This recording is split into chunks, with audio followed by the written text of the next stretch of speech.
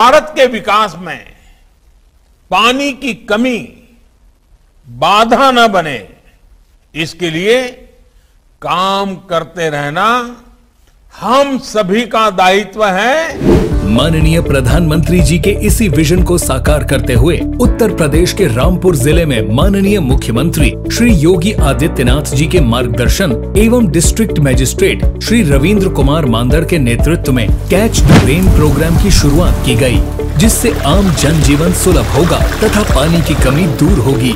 किसानों को कृषि उत्पाद में जल आपूर्ति की कमी का सामना नहीं करना पड़ेगा। साथ ही ग्रामीण महिलाओं को पानी लेने मीलों दूर नहीं जाना होगा। कैच द रेन में कई योजनाएँ सम्मिलित हैं। ये सभी योजनाएँ अलग अलग केंद्र बिंदुओं पर आधारित हैं, जिनका उद्देश्य जल संचयन एवं सदुपयोग है।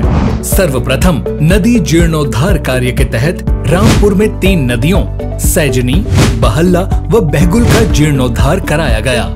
जनपद रामपुर की बहल्ला नदी पर ग्राम बैजना में सब सरफेस डाइक का निर्माण भी कराया जा रहा है, जिससे जल स्तर में वृद्धि होगी। तालाबों में प्राकृतिक रूप से भूजल रिचार्ज होने का दर एक धीमी प्रक्रिया है। इस प्रक्रिया को गति प्रदान करने हेतु रिचार्ज शाफ्ट का निर्माण कराया जा रहा है। मनरेगा के अंतर्गत तालाब जीर्णोद्धार योजना में पुराने तालाबों को तीन मीटर गहरा किया जाता है। साथ ही जल के आने व निकासी के लिए इनलेट व आउटलेट रैंप का निर्माण किया जाता है। अमृत सरोवर निर्माण के तहत देश के प्रथम अमृत सरोवर का शुभारंभ 24 अप्रैल 2022 को किया गया।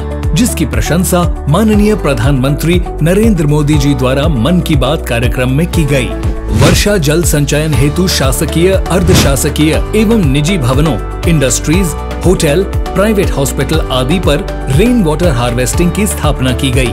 इसी के साथ साथ जनपद के ग्रामीण क्षेत्रों में लगे हैंड पंपों और स्कूल में हैंड वॉश यूनिट पर सोप किट का निर्माण कराया जा रहा है, जिसमें वेस्ट पानी को भूमि में पुनः रिचार्ज किया जा रहा है। पूर्व में निर्मित चेक डैम की डिसिल्टिंग का कार्य कराया गया है, जिससे जल धारण क्षमता में वृद्धि हुई है। इन्हीं योजनाओं में सम्मिलित है नहरों की सिल्ट सफ़ाई, जिसका कार्य सिंचाई विभाग के सहयोग से मनरेगा व विभागीय धन राशि द्वारा किया जाता है। इन सभी योजनाओं के साथ वृक्षारोपण का कार्य कराया गया है। जीवन में जल के महत्व को समझते हुए एवं रामपुर निवासियों के रोज़ाना के जल संकट को समाप्त करने के लिए शुरू किया गया कैच द रेन कार्यक्रम जल संचयन में एक अहम भूमिका निभा रहा है। इसी का परिणाम है कि जनपद के कुल छह विकास खंडों में से जो चार विकास खंड डार्क श्रेणी में थे, उनमें से तीन विकास खंड सुरक्षित श्रेणी में आ गए हैं, तथा एक अति दोहित श्रेणी से क्रिटिकल श्रेणी में आ गया है।